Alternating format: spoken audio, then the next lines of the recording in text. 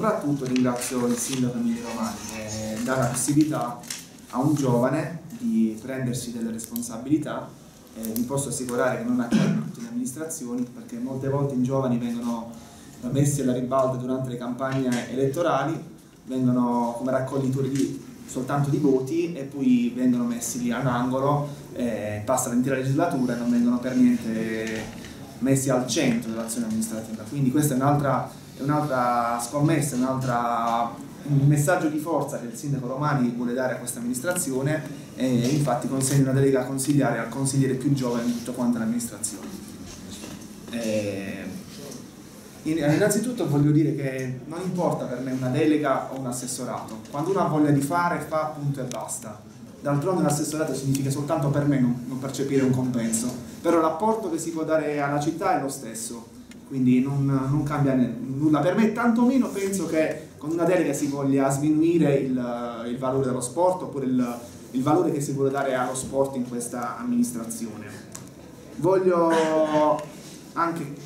dire che uh, in questa amministrazione uh, il sindaco e tutta quanta la giunta ha messo in bilancio una somma importante, quindi sicuramente se nel lustro precedente qualcosa non si è fatto bene nello sport ci sono i presupposti per poter fare bene. Quanto la somma a disposizione è importante, quindi secondo me uh, si guarderà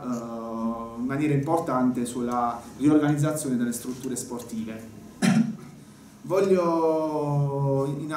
anche aggiungere che il mio ruolo sarà super partners, quindi al di sopra delle parti, in quanto per me tutti gli sport saranno uguali, dalla danza al calcio alla pallavolo, alla pallacanestro, quindi il mio ruolo sarà imparziale e eh, invece di parlare di competenza io proverei a parlare di ascolto, perché secondo me le associazioni in questi anni si sono sentite abbandonate, non ascoltate, quindi quello che voglio, voglio portare dal mio, con molta umiltà eh, sarà quello di, di ascoltarle, eh, innanzitutto convocarle tutte, ascoltare quindi e rendicontare quello che realmente possa servire a queste associazioni e un, una verifica, un controllo bimestrale, se non anche mensile, nel, nei, nei, sopralluoghi, eh, quindi vedere con, uh, con, la propria,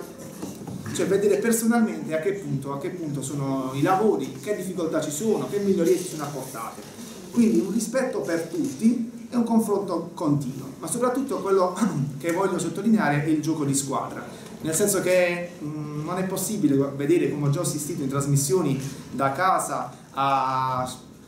attriti tra società sportive che non, non, serve a nulla, facciamo una guerra tra poveri, quindi dobbiamo soltanto fare, fare squadra e stare insieme, come lo facciamo in amministrazione tra i consiglieri, tra il presidente della commissione dello sport, che alla fine se si vuole far crescere lo sport, eh, l'unico, messaggio che, che, voglio dare è l'unione, non serve fare battaglie che eh, non portano mai i, i risultati. Niente, come già detto il sindaco, nelle linee programmatiche si parla chiaramente su quale, su quale strada si vuole, si vuole, puntare, quindi nel, nel, recuperare quelle strutture sportive che in un certo qual modo versano in condizioni di disagio e eh, quindi bisogna puntare sulla riorganizzazione eh, di queste strutture qua, provare anche a rivedere quelle convenzioni che in alcuni casi ci sono, in altri casi non ci sono, con delle associazioni sportive che vorrebbero prendersi anche, del, anche loro delle responsabilità migliorare il servizio eh, ai ragazzi e quindi all'utenza in generale. Pertanto eh, io penso che bisognerà continuare sulla linea, quindi già eh, mandata avanti dal sindaco, infatti nello scorso quinquennio si sono spesi circa 5 milioni di euro per quanto riguarda l'adeguamento delle strutture eh, sportive in, riguardo alle scuole, quindi bisogna ricontinuare, continuare su quella linea perché le scuole hanno, hanno un doppio compito, sia quello formativo che quello educativo e sportivo, quindi eh, va bene continuare sulle scuole, bisogna intensificare sulle, sulle strutture sportive e come dicevo in precedenza ascoltare con molta umiltà tutte quante le, le associazioni e provare a trovare un punto di, di, di incontro.